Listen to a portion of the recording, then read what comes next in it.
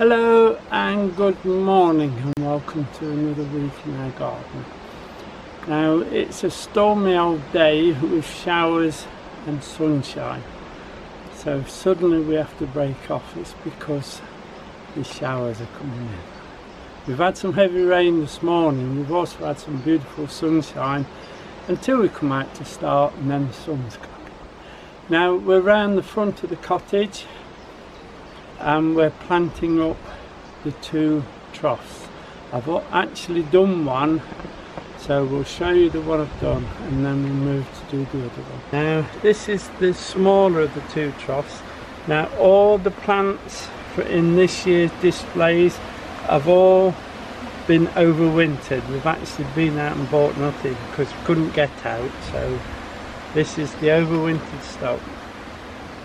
Now I do believe there's a storm up there that's just coming over us and it's just starting to rain so we'll have a small break now. Now that was a nice drop of rain and a very nice cup of tea while it's raining. These are the plants that we'll be using. As I said it's all overwintered stocks. It looks well watered and bashed about now with the latest storm but we'll soon have them in and the compost is a good quality compost and I've actually mixed some well rotted leaf mould with it just to give it that bit of bite. And I've put in about a handful of bloodfish and bone. Now the quite large plants that will get them in, we'll just pick the front which is there. So put this one in the centre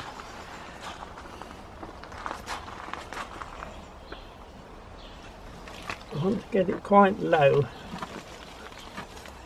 There you go.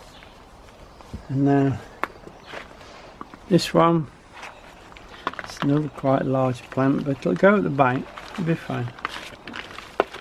We'll put this one here, it right way round so it looks it looks good. If I, I might turn that a little bit, that's it push the compost in. And this end, I'm putting two together because they're not quite as strong as those, just to keep the balance. The balance right. And the sun's come out for us, so it's making a lovely day.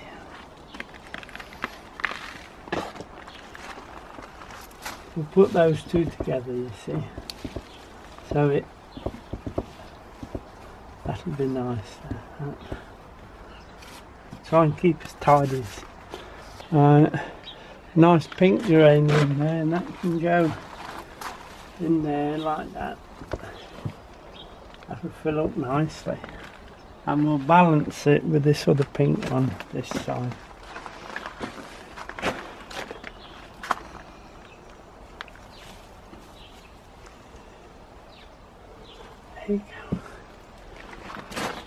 Now as you can see that's coming together nicely now. We'll just get some more plants. We'll put these two two reds here I think.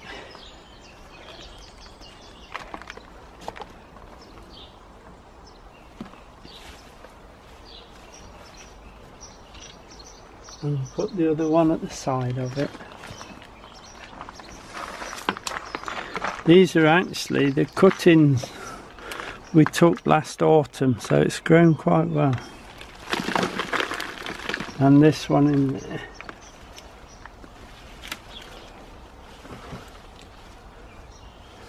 Just sort the leaves out a little. They will sort themselves out and the flowers will stand once they've been watered and had some sun on. This pretty one, we'll put that side to balance up with that red.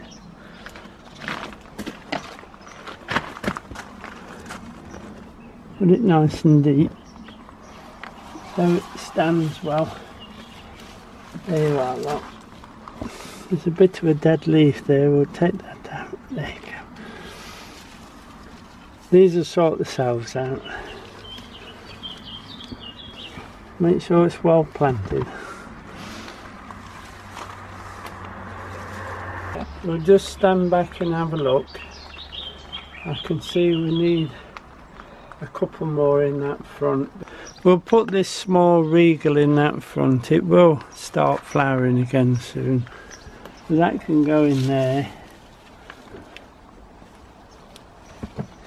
That'll tend to spread out more. I think we'll put this orangey red into this space here.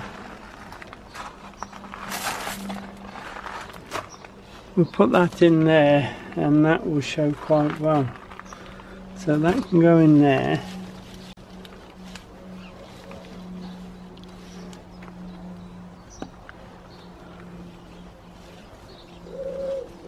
That's good. As say, they'll sort themselves out in a little while and the leaves will all turn into the sun. Now this other one, not quite as strong as that one, but it will soon pick up. And we'll pop this one in here. In that space there. I'll just tighten it up. There you go. Quite a bit of deadhead. There'll be quite a bit of deadheading to do in a few days, but then we'll come back to that. These are the Bacopa cuttings we took with you. They've all rooted well. Remember we put three in each so we've got nice full pots. And then we'll put one in each end and one in just off centre. If you see, look, wherever they touch the compost they'll root anyway. So if anything's going backwards it will root and make the plant stronger anyway. They get quite strong they do.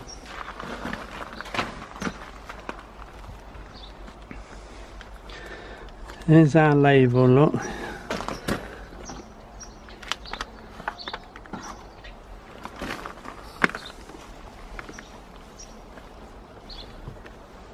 And when we've finished it, we will top it up with compost, obviously. When it settles down, it'll want a bit more in it.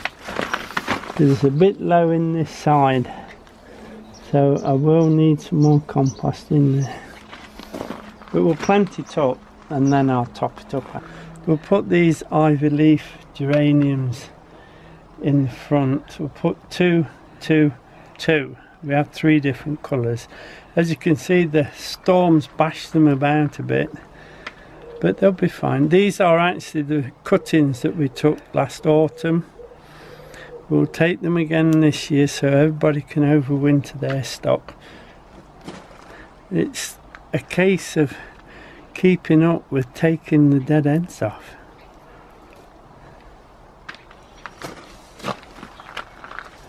Been a really warm spring this year and we, we've had a lot of flowers. So let's put these in the I'm bit low on compost at this end but it's no problem because I'll fetch some round when we're finished. We'll put two of those in there look so we, we can give it plenty of colour. This is a pretty one. Once deadheading again. Take those off. It's an odd leaf once coming off as well. But we'll put these one on one there so they'll all fill up.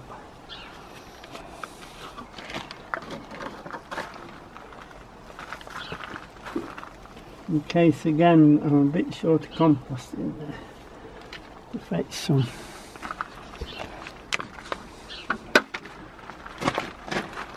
Oops.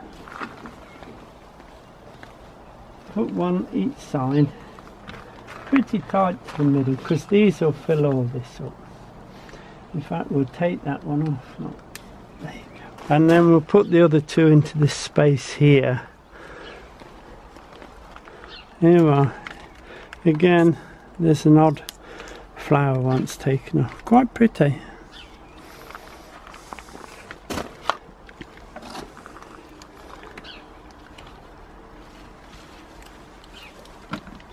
There's one.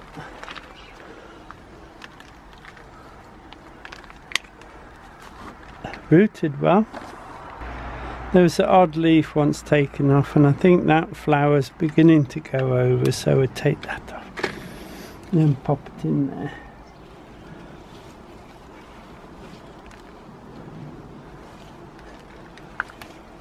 and then if you can just bear with me for a moment I'll nip round into the courtyard and get a little bit more compost just to fill that side up.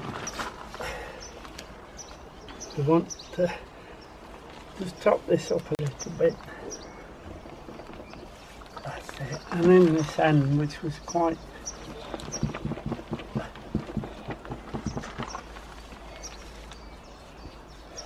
That's better, I'm happy with that. There you are then, that's the trough completed. That's all the flowers that we had from overwintering. There's quite a few around the uh, front of the cottage. Guy will probably show you those that we've overwintered. Right, so this year we'll call the display the lockdown tubs. So Di will just show you what we've managed to overwinter and what we've done with them. These are the bigger fuchsias that we overwintered. They really have come along with this warm weather. As you can see, they're quite a size now. So by the end of the season, they'll be quite large.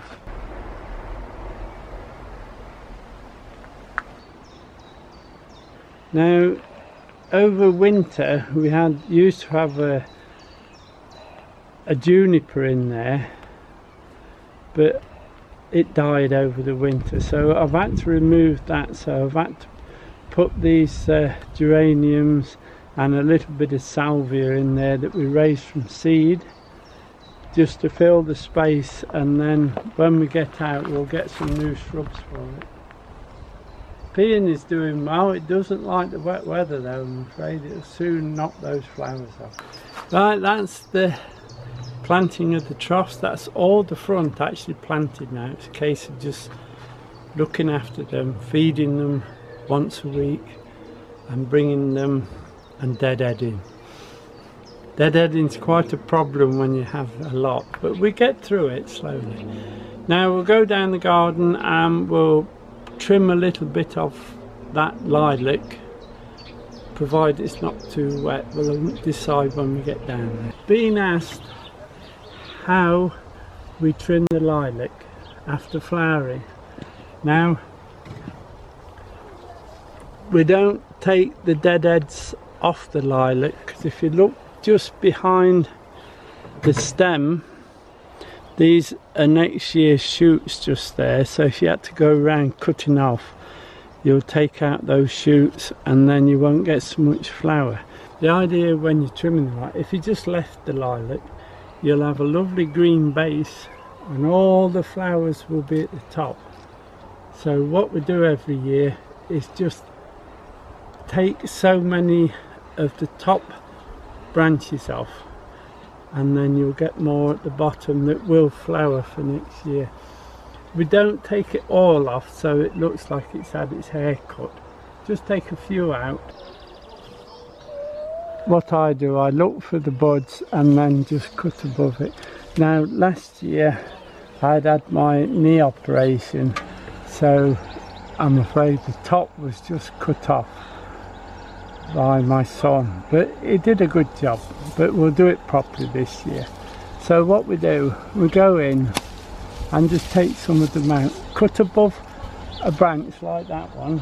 Can you see that one will now that one will now carry next year's flowers. If you look at this one, everything's right up at the top, but there's a bud here and a bud here. So what we'll do, I don't know if you can see, we'll go just above that bud there, look, you see? And cut off. It's quite soft wood, so it will easily cut. But if you just do that selectively through, you'll find that when it's finished it still looks like a nice bush. We'll just go around take a few off. This is no good at all look so we'll take that one out. This one got a nice shoot there and several buds coming off it there so we'll take that one out. There'll be some cleaning up to do I'm afraid but don't do every single one. I'm cutting a little bit heavier here because it hangs over the path and we're actually walking through it when we when we come down the path. So this, you see this is on the path now, so we just follow it down. Got a nice pair of buds there, look, so we just cut this one as well, look. Nice pair of buds there. We'll leave those, they're fine. Now we'll, I'll do one or two for you and then I'll finish it and show you. That's fine. That just wants the top taken to the bud slot. There you go. You'll see better in a moment once we get into it. This one, it was cut off there last year. You can see where Byron cut it last year and the year before. So we're going to take it off there and we'll leave the other two on this so it's got a bit of height on it. We just thin it. There you go. Likewise this one, we'll take that one out. Should have been at an angle that one, so we just recut that. Now it sounds like next door's got their compressor on, I do apologise. What I should do now is go through it and just select branches. Say 50% of the branches just thin the top out and that will bring more flowering buds out from the bottom. So next spring we'll have a nice display of flowers rather than all the flowers at the top. I'll just go around and finish it and then I'll show you. But remember only take 50% and always cut back to a pair of buds because they'll need the tree will want those buds to grow a little.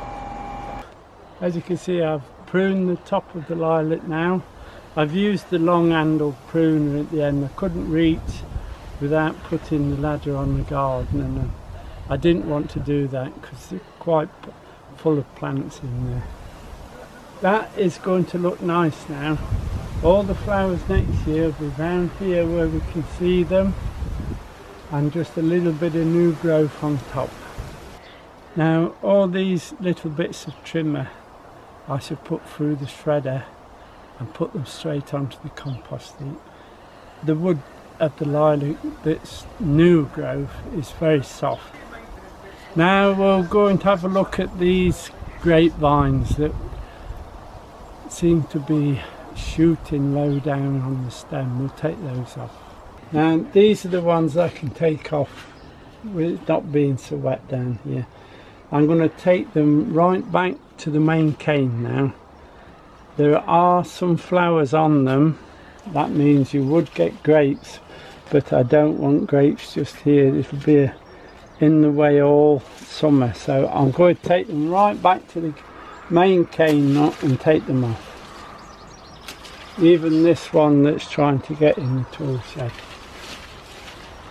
Right back I'm going to throw them down then these will go through the shredder as well. Right back if I leave a little bit on them they'll only start shooting again.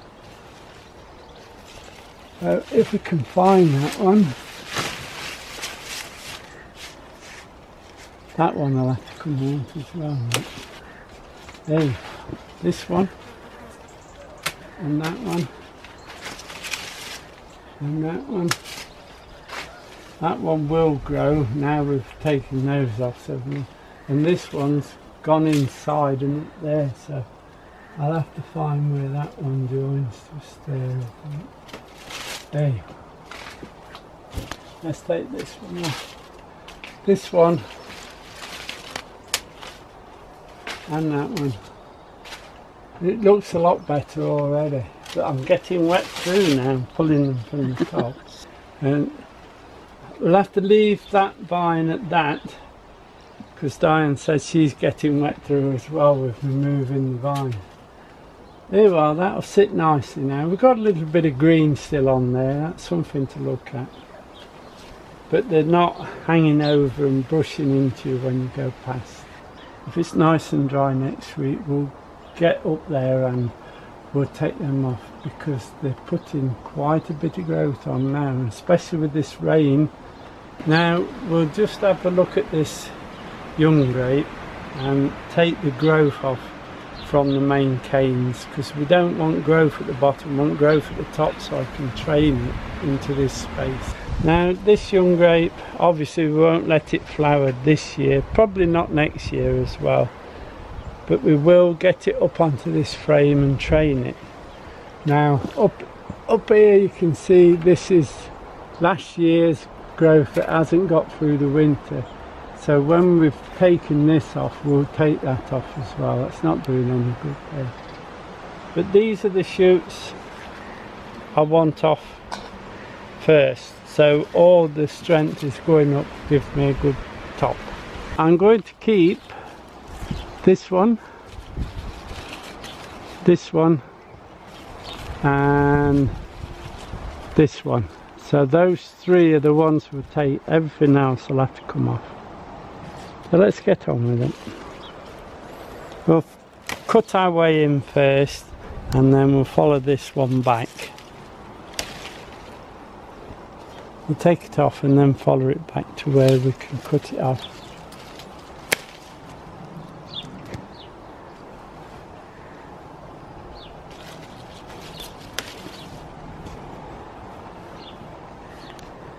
There you are then, that's free. There is a another stem coming off it there which we don't really want. Look, that's dead at the top so let's take that away.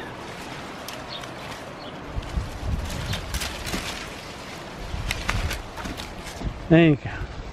This is one, we don't really want this one. We need two. There's one. There's two look right? So we'll take this one off. So this one we don't really want. So we'll take that off right down there and take that away. This side shoot here we'll reduce that and that one. This one I need all the strength in that cane to go up not up this one though I'm afraid so we'll take that off. And that'll take that dead off as well. Look. there it is. We'll take that off. So we've got some going up now. Let's have a look what we got. One two three. We've got two break into three so that's fine. These little shoots that are coming off we don't want this one we don't want here not so there's the three so let's take this one off. We'll keep that one we'll keep that one we'll keep that one but we need to get rid of this dead stalk at the top. It worries me a little that it hasn't got through the winter because we haven't really had a a severe winter this year so I'm thinking we might have to put some fleece around this one if the weather gets really bad. It doesn't seem to be as tough as the old Hamburg there so we might just wrap it in a bit of fleece. We'll take that out. That. That's doing no good at all if we can get it off. There it is. Now we're just left with those three that we want. This one here we'll just stop and we'll hold that one as a reserve in case the wind takes one of these off. Now what we'll do now, we'll start and train it one along and one down to meet the other vine. We'll tie those in later when they get a little bit longer, if, if they're too small and you try to do it, it, it just bends and grows up again. So when we've got a length, we can put the whole length up. I've had to put my coat on. The wind is turned from the north and it's very, very cold.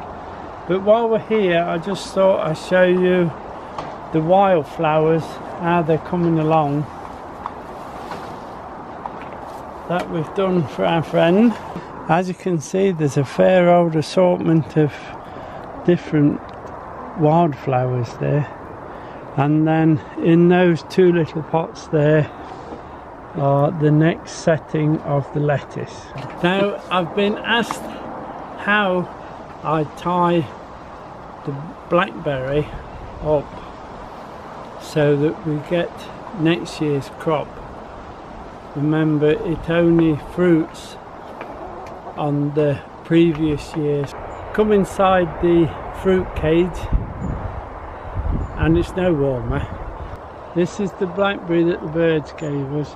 Now as you can see it's absolutely covered in fruit but when we've taken this fruit off when it's ripened and we take it we actually cut all these canes off and then next year's fruit will be on these canes that I'm pulling round to grow on this side of the frame.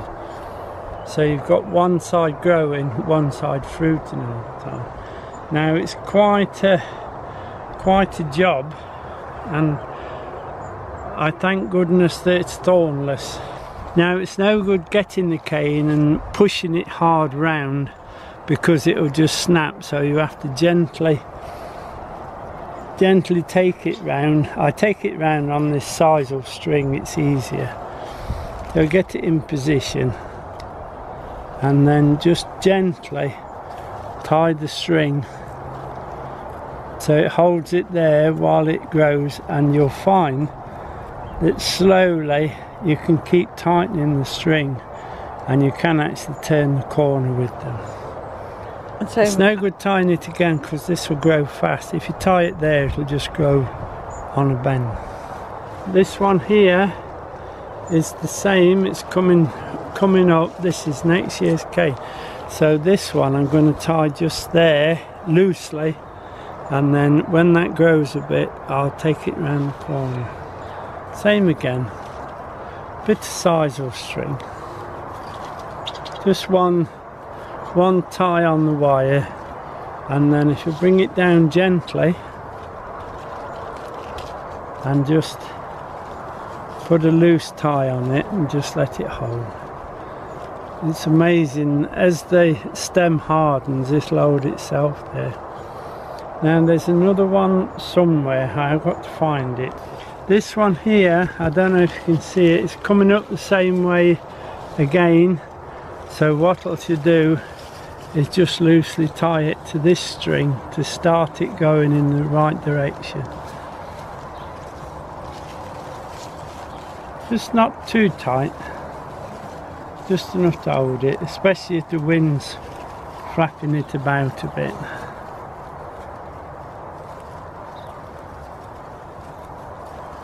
There you are, load both of those in. If I can tie it, there you are. There will be more canes coming up like these and we'll have to slowly tie them in until we fill all this up with next year's canes. If you do it little and often, you can do it. If you let them get too strong and then try and bend them you just snap them right there's just two more little jobs we need to do today and if we get a move on we'll probably get it done for the next storm we've just had to dash into the greenhouse because another rainstorm's just come through so one of the little jobs I have to do is I want to put some chalk mixed with a little bit of compost and I top dress the peppers with it. I do believe that the chalk on the top of the pots of pepper stop the peppers from dropping the flowers. It seems to work, I don't know why, but I do it every year and I always get a decent crop. This is just children's blackboard chalk ground up and mixed with a little bit of compost that's been screened and then I just mix it up and sprinkle it on the top of the pots just like this. And that's it. I just go around them all. There you go. There's one over here that I haven't done. It's something to do with the calcium in the chalk, I believe, that helps the stops them from dropping the flowers too much. What I will do, I'll put some on the aubergines as well, it won't hurt them. Put a bit more on that one. These are the aubergines, they're doing quite well. But we'll just put, I seem to be putting more on the floor at the moment. I'll soon sweep that up. There you are. And the sun's coming out now, would you believe it? You can actually, if you wish, put some on top of your tomatoes as well. While we're going past, can you see where this flower's started to grow on? If you leave that, that'll take all the strength from making, forming those tomatoes there. So just nip those off. Another one here, look.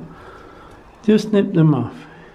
Carefully. Some tomatoes get it more than others, but just keep an eye on it and take them off as you see them. This one is badly deformed. It's got two full leaves on the fruit instead, so we take those off as well. And that's got a side shoot in it as well. This one as well, look. We want fruit, not leaves on those, so just take them off. They'll be fine. And now if I take that one off, if I can get me out, there it is. That will get on with producing tomatoes, not leaves. Most tomatoes it doesn't affect. That one's actually gardener's delight, so probably they're more prone to that growing on than others. But the rest are fine. Now, I've got one more little job to do, so we'll nip out and do it, and then we'll come back in here, I think, because it's lovely and warm. Now the other little job, it's lovely and warm in the sun, it's unbelievable. The other little job was to take the tops out of the broad beans to stop the black, black fly because we're coming up to black fly season now and the tops will be absolutely full of black fly if you leave them on. So the idea is if you take away the food you won't get the black fly. It's just a case you can pinch them off or you can cut them with secateurs. I would say try and cut them with scissors or secateurs because if you pinch them you could tear them. So it's just that that top bit, just snip it out all the way.